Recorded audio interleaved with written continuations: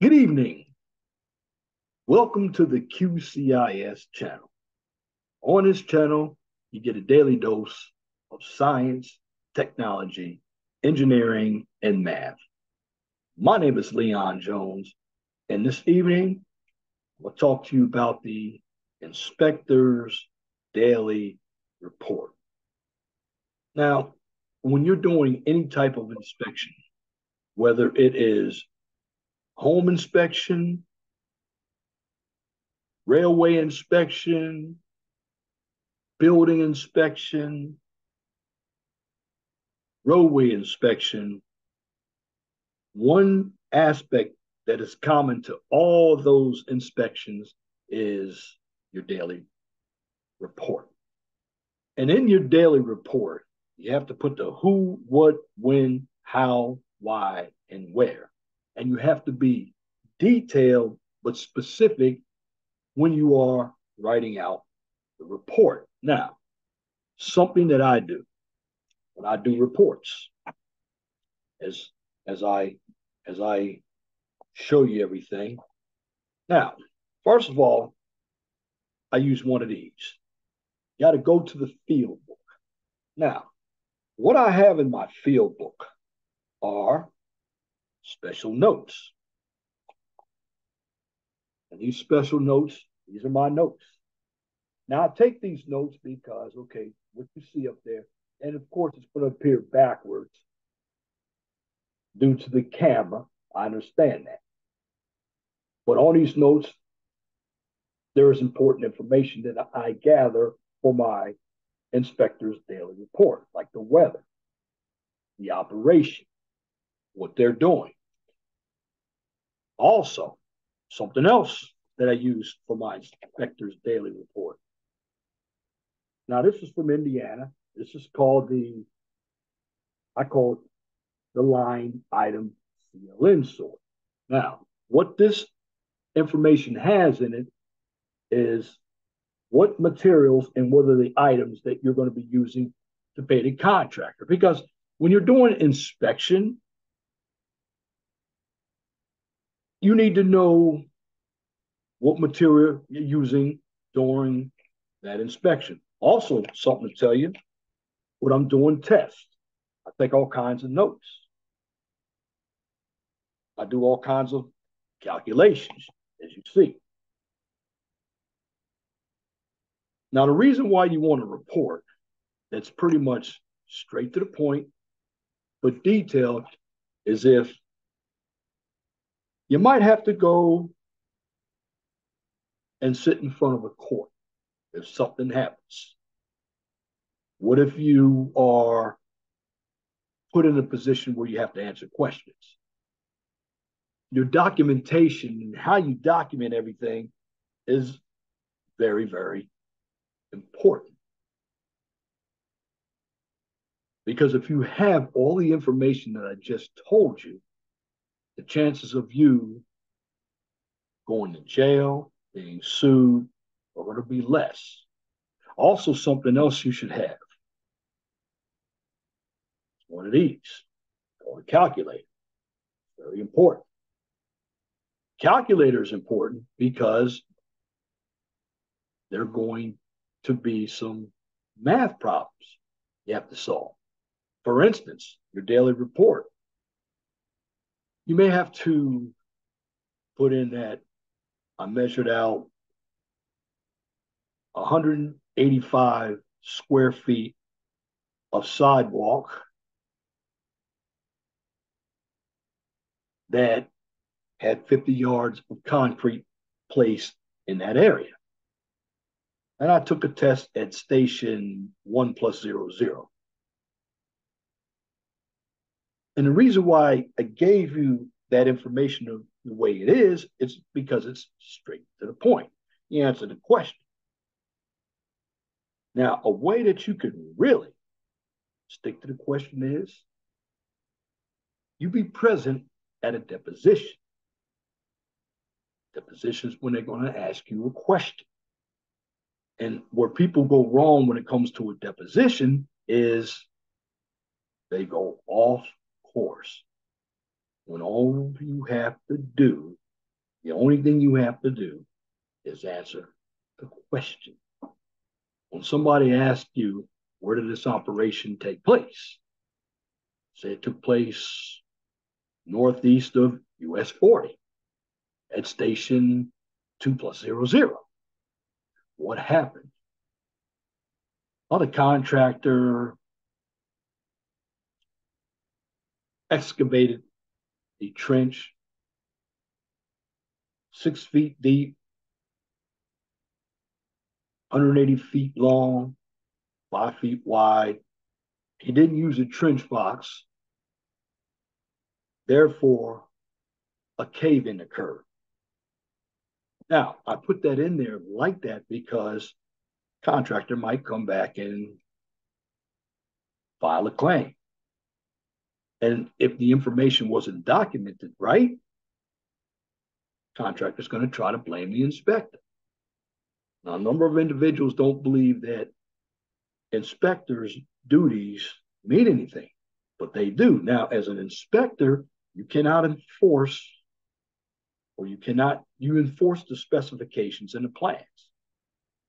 Now, you cannot tell the contractor means and methods. And what I mean by means and methods is you don't tell the contractor how to build their job. Now, what I'm going to show you is what an inspector's daily report looks like. Now, basically, for IDRs, the report should be used to give a daily, detailed account of all activities occurring during the life of the project. A minimum of one report shall be completed each day, beginning with the date the work begins and carried to the date that the project is completed and accepted, whether work is performed or not. So your IDRs, your inspector's daily reports, reflect the activities that are taking place on that project. Now, additional reports shall be used as necessary to report the various operations that are performed on a project, such as night operations and multiple shift work. So the construction technician acts as a lead inspector, and each technician inspecting a specific contractor operation should fill out and turn in a daily report. That's what I do every day. Now, the original reports should be included as part of a project diary. Now, a project diary here in Indiana is done by the project supervisor. For this reason, you must understand when you do reports, they should be legible. Now, this information is old. Most of us don't do reports in ink or lead pencil. We do it via typing. And when you type, make sure you spell check. Now, some interesting information that you could use as well if you are good with a computer. Utilize a Word document. Now, when I do the information on change orders, and I've done it before, so I'm going to go back over change orders again, you'll see why. Because you might utilize that same information the next day. You can always copy and paste. Now, this report right here is done by North Carolina DOT. Every state might have a different system where imports are used as input information. However, the reports are the same. Now, for NCDOT, here's what they require date, weather, hours, work, forces, and equipment. This is important. Detailed description of the operation. Instructions to contractor or subcontractor. Instructions from resident engineer or other DOT personnel. Like I said, this report comes from North Carolina. Request from contractor and responses, detailed information concerning delays encountered. And you have your errors noted, changes needed or made, work available but not being pursued. Contract with utility companies, property owners, samples taken, checks made such as depth, width, correctness, cuts, fills, slopes, and general comments on operations inspected. And of course, if somebody comes on the site, you want to document that. Who was the visitor? Because you don't know who's coming on site. Now, again, the preceding items, and of course, this information I'm giving you is a guide, it is an example. And it's going to give you the information needed. Now, it is not intended to limit information placed on reports. So basically, each person that's going to be writing a report is going to utilize his or her own judgment, but you must put the information in good detail that is factual. And what I mean factual, what daily activity took place. Now, the following should be used to complete each item on a contractor's daily report. Now, this information, I'm going to utilize this so you'll know, put it in my comment section. But basically, you want to have your contract number. Now, like I said, each state is different. They want you to have a work breakdown structure number or TIPS number. Inspector, day, date, temperature, AM and PM conditions, items of work, effective delay, remarks, accident. Now, generally, all this information is going to be found in a construction management software like Site Manager. That's where you can input all that information. Now, basically, you can scroll this through this information yourself. Here's what the report actually looks like. They gave it to you in a form list, list of the information, and here's where you're going to put all the information. Now, this is where you write everything about what took place. Are there any corrective actions? Now, again, a good report comes from using this. Get a field book.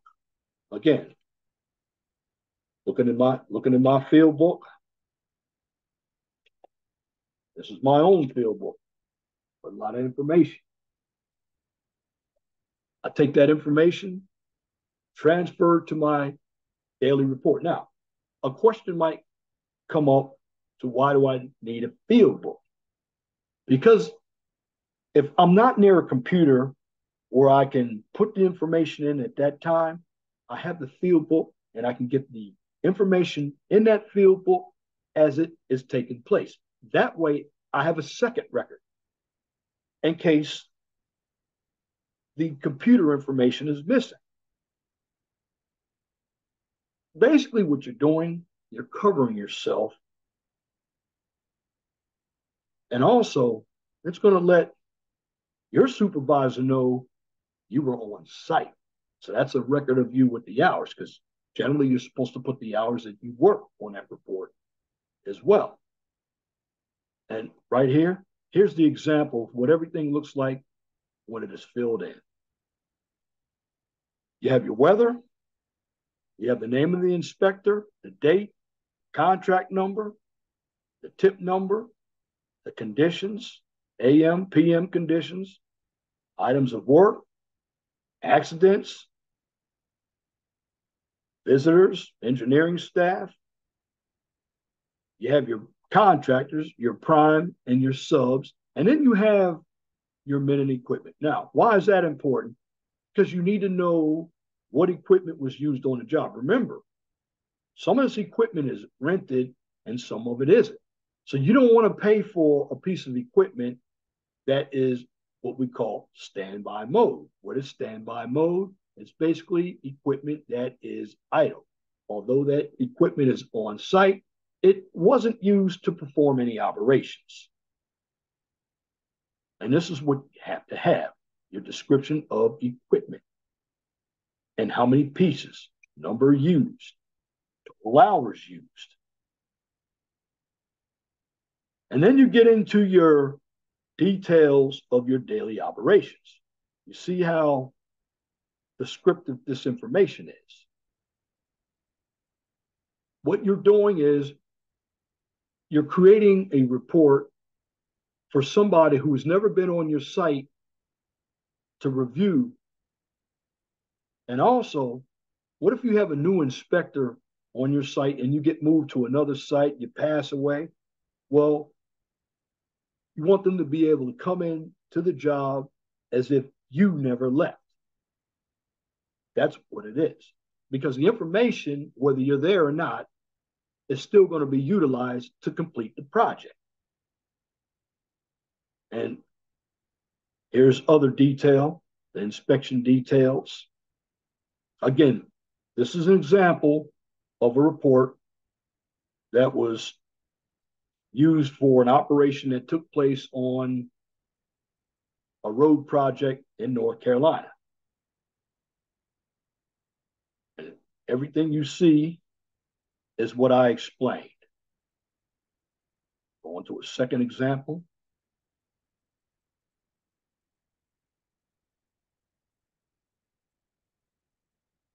Here's another example of what the report looks like.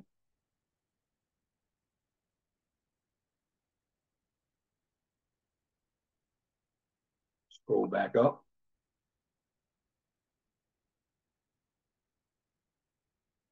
On back down, there are many examples. Again, I will have this information posted at the bottom of my comment section. So basically, when it comes to any information, here, here's the most important piece of information. Be sure you write the reports each day. Again, who, what, when, how, why, and where. Just as I mentioned before, when you write a report, you're writing it not just for yourself, but somebody who's not familiar with the job and they can understand what's going on. Be detailed. Make sure you're referencing local names of businesses. List instructions to a contractor. Daily operations. If contractors performing work at no cost to the department, explain why the work is non-pay work or incidental. It does not hurt to reference an operation that another inspection team or inspector is looking after if it affects the operation that you're inspecting. Also, note the items. Start the ICTs. Refer to the contractor as the contract. Now, that's another item that you don't want to use on or in any inspector's daily reports. If I'm directed by somebody, even though I know their name, like Tommy Smith, area engineer, well, I'm not going to put Tommy Smith's name in the report. What I'm going to put is I was directed by the area engineer to inspect this culvert because of an issue with cracking. You never put anybody's name, you put their position. It's plain and simple. Because if you put somebody's name or you defame their character, you could be sued. Again, you write one IDR per shift. And, and something else do not use the words I think or I feel. And don't be personal. You don't have to like a contractor, but don't write personal opinions. You have to be professional. Also, a good report, you type or write legibly. And you write the name of the contractor and subcontractors name at the top of the detail of operations section. Now, like I said, this report was one from the NC DOT. And most of us today, we do not write reports, we type reports. We use a software like ECMS. A number of states use Site Manager. But again, as a review, get yourself some paper, like I have, a field book. This right here.